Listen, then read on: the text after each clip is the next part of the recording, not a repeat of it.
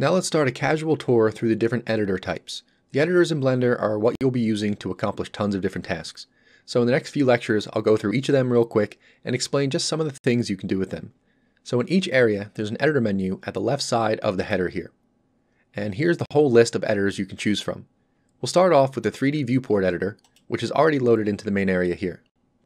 This is where the 3D magic happens and where you'll be visualizing and interacting with objects in your scene. And here you'll be modeling, texturing, animating, and a lot more. Up next, we'll go over the image editor. So let me split the area, and I'll load in the image editor on the right side. Now in this editor, we can browse through all the images we have loaded into the blend file, including our textures.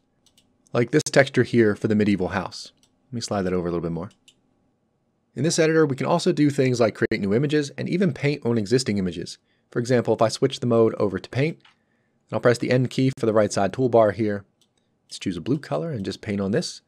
You can see we can paint on the image and it'll automatically update on any models that are using that image as a texture. And Blender actually has a pretty decent tool set for painting as well, so you can actually use Blender as your 2D software. Now in order to get this flat image to actually display on our 3D model here, we use something called UV unwrapping, which basically takes a 3D object and unwraps it onto a flat plane so that we can then paint textures on it. And for UV unwrapping, we use the UV editor.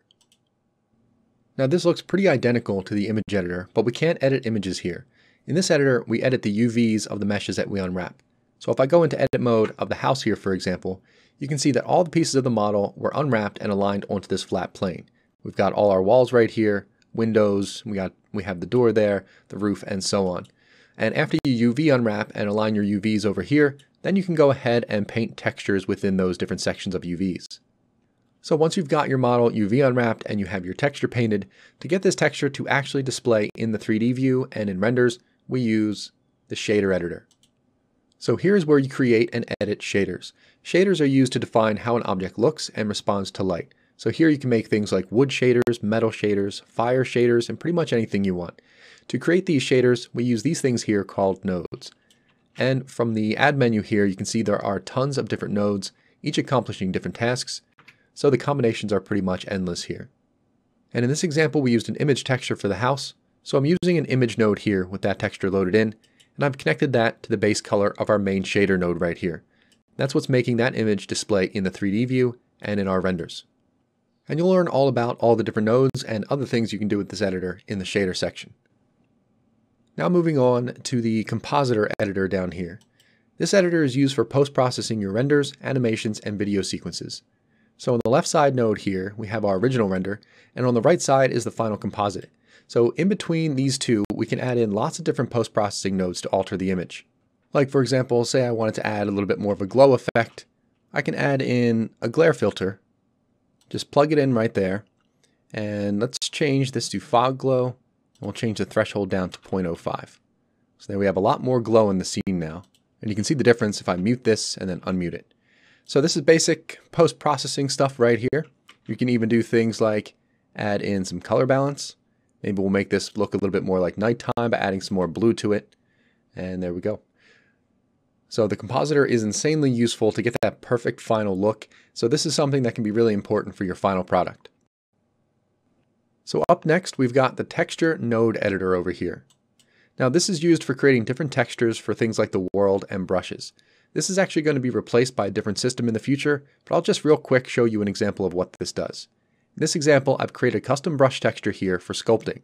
I've combined a brick texture with a cloud texture, and when I go to sculpt on the object, you can see it's generating sort of a grungy brick look on the surface. So that is the result of combining brick and cloud textures. All right, so that's going to do it for an example of what that texture editor does. And now let's move on to the sequence editor.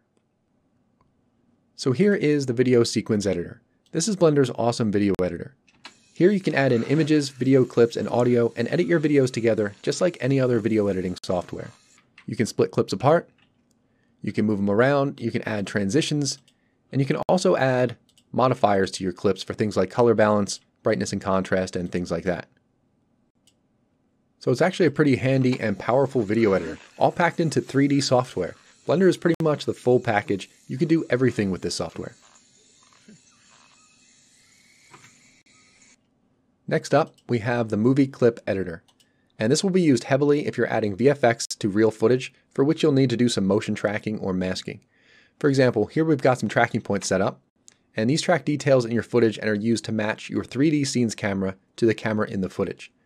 As you can see, for example, this one marker here is tracking the corner of this whiteboard, and it's going to track it through the footage as long as it can. And we have all these other tracking points set up as well, and Blender will take all of this tracking information and use it to calculate how the camera is moving in the footage, and it will apply this movement to the camera in your 3D scene. And this is what allows us to composite 3D elements into our footage and make it really look like it's part of that footage. And here are the final results from the open movie Tears of Steel. You can see just how much 3D is composited into these scenes, and they use motion tracking to make sure that the 3D scenes match up with the real footage. This is an amazing editor, and we'll get more into this later in the course. But for now, that's actually going to do it for this quick tour through the general editors, so I'll see you in the next lecture.